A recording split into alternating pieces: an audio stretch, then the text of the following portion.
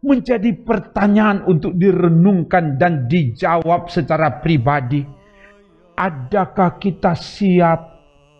Kita rela menderita, dipermalukan, diejek, dihina, diolok, dicela, dicaci maki, diludahi, dipukul demi sebuah kebenaran, demi keyakinan iman kepada Yesus Kristus untuk menolong dan menyelamatkan orang lain. Adakah kita rela menderita dan tidak membalas semua itu?